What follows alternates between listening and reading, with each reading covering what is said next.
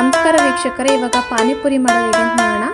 ಒಂದು ಕಪ್ಪಷ್ಟು ಮೈದಾ ಹಿಟ್ಟಿಗೆ, ಕಾಲು ಕಪ್ಪಷ್ಟು ರವೆ ಹಾಕಿ, ಒಂದು ಸ್ಪೂನ್ ಬೇಕಿಂಗ್ ಪೌಡರ್ ಹಾಕಿ, ಒಂದು ಸ್ವಲ್ಪ ಸೋಡಾ ಹಾಕಿ, ಇಲ್ಲಿ ನಾನು ಹಾಕಿರೋ ಸೋಡಾ ಸ್ವಲ್ಪ ಕಡಿಮೆ ಆಗಿದೆ, ಇನ್ನೊಂದು ಸ್ವಲ್ಪ ಹಾಕಿ, ಮೃದು ಆಗುತ್ತೆ, ಇಲ್ಲಾಂದರೆ ತುಂಬ ಹೊರಟಾಗುತ್ತೆ ತಿನ್ನೋಕ್ಕಾಗಲ್ಲ.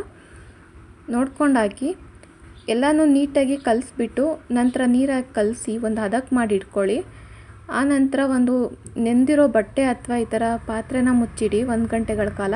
ಈ ಕಡೆ ಪಾನಿಗೆ ಒಂದಷ್ಟು ಪುದೀನ ಸೊಪ್ಪು, ಮೆಣಸಿನಕಾಯಿ, ಬೆಳ್ಳುಳ್ಳಿ ಮತ್ತು ಶುಂಠಿನ ಹಾಕಿ ನೀವು ಚೆನ್ನಾಗಿ ತಿರುಗಿಟ್ಕೊಳ್ಳಿ ಈ ಕಡೆ ನಾನು ಪೂರಿನ ಒಂದು ದೊಡ್ಡದಾಗಿ ಚಪಾತಿ ಥರ ಅರ್ದ್ಬಿಟ್ಟು ಲೋಟದಲ್ಲಿ ಈ ಥರ ಕಟ್ ಮಾಡ್ಕೊಂಡಿದ್ದೀನಿ ನಾನು ಶೇಪ್ ಕೊಟ್ಟಿದ್ದೀನಿ. ಇದನ್ನು ನಾನು ಇವಾಗ ಎಣ್ಣೆನಲ್ಲಿ ಕರಿತೀನಿ ನೋಡಿ. ಎಣ್ಣೆನಲ್ಲಿ ಕರಿಯುವಾಗ ನೀವು ಪೂರಿ ಮೇಲೆ ಸ್ವಲ್ಪ ಪ್ರೆಸ್ ಮಾಡಿದ್ರೆ ಅದು ಊದ್ಕೊಳ್ಳುತ್ತೆ, ಅಂದರೆ ಗುಂಡು ಗುಂಡಾಗಿ ಬರುತ್ತೆ. ಪ್ರೆಸ್ ಮಾಡಿಲ್ಲ ಅಂದರೆ ಬರೋದು ಕಷ್ಟ ಸ್ವಲ್ಪ. ಸೊ ಅದರಿಂದ ಆದಷ್ಟು ಸುತ್ತ ಪ್ರೆಸ್ ಮಾಡಿದ್ರೆ ತುಂಬ ಚೆನ್ನಾಗಿ ಗುಂಡು ಗುಂಡಂಗೆ ಬರುತ್ತೆ.